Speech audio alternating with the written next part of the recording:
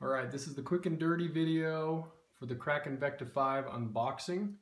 So this is the, the box that ships inside the shipping case.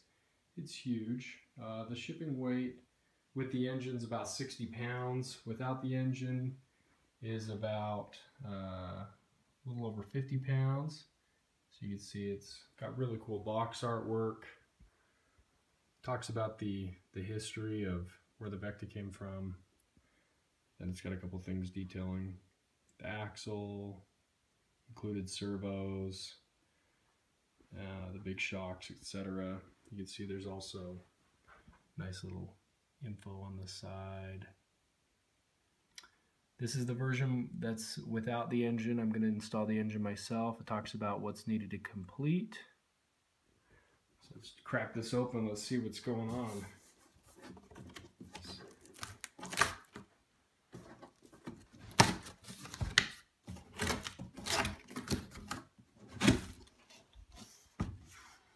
Thing's huge. Okay, so inside we've got the we've got the Vekta. It's got some protective covering on top. I'm gonna pause the video for a second and get this out.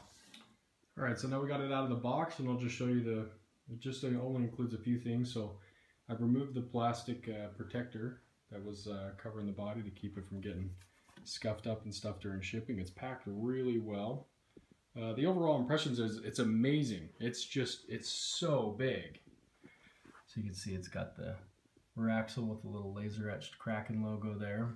So what you get in the box you get your manual, which has your antenna shroud. Uh, on the back side, you've got your decals. Um, the essential for every fifth scale car is the DDM Racing sticker because that's what makes cars fast. And, uh, and then also included, pretty simple. So this is the almost ready to run with no engine. So you can see there's it's the spot where the engine goes. But it's got a it's got the air filter complete with the carburetor screws, the bolts that hold it to the carburetor.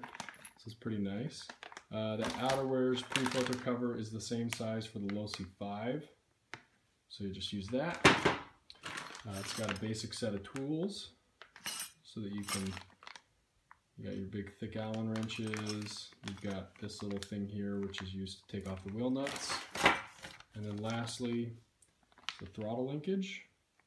The throttle linkage will be installed right there on the servo. So, all right, so the initial impressions of the production version compared to the, the prototype sample that I saw last year is that everything is just way refined. I mean, what he's done now is like the shocks are nice anodized. Um, the sway bar functions a lot smoother than the other one. Uh, the, the rear upper links, these were actually increased. They were made a little bit thicker than the last time. Um, and I mean, you just will never get enough of that axle housing. It is, it's amazing to look at. The whole back end of the truck is just awesome. And then as we go to the front, it's just a perfectly built. I mean, I you know, a lot of people want kit versions of everything and I get that, but it is just it, it's it's flawless.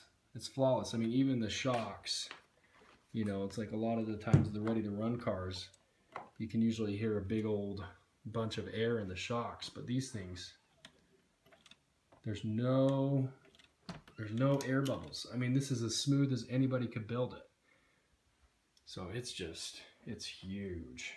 It's, it's the best radio controlled truck that's come out in years. I'll flip it on its side. Alright,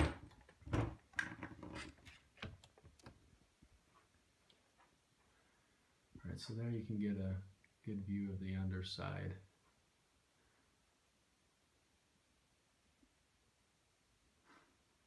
So you can see the arms these arms have 8 millimeter hinge pins and then these blocks in the front and the back are captured so the hinge pins don't come out.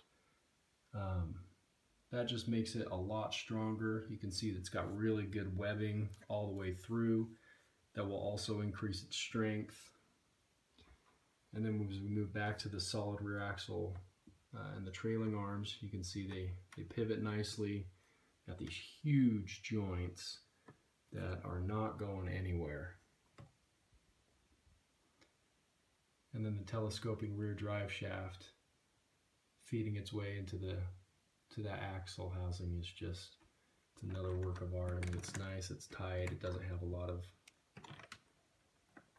slop. It's just a good design. Nice big solid plate that you can see runs all the way up. So next I'm going to be doing is I'm going to go ahead and throw the engine in there, get it all broken in, get some videos of this thing driving. So you can see back here, let's see. So this is the metal, this is the housing. So it's what it does is it's two plates that run this way that sandwich all the gears together and they ride on ball bearings. And on the front side, there is a an adjustable slipper clutch. There's no center differential, so it has this shaft that, that feeds to the front and the rear, and that's how it's the four-wheel drive. And what else is cool, which I, don't think you can see, um, you can kind of see it. So right here, this is a clear gear cover, so you can actually see the gears inside, which are all, it's an all metal gear transmission. I mean, everything about the car is just really well done. I mean, the the diffs feel really smooth. It looks like they they got a nice uh, a nice balance for diff oil in there, diff fluid. It feels like a little bit thick, but like not not overly thick or not overly loose. So it just feels feels incredible. So can't wait to get this thing up and going. All right, that's it. So if anybody has any questions or if they want to see any detailed photos or uh, specific parts, just make a comment and I'll uh, I'll get to it. Thanks.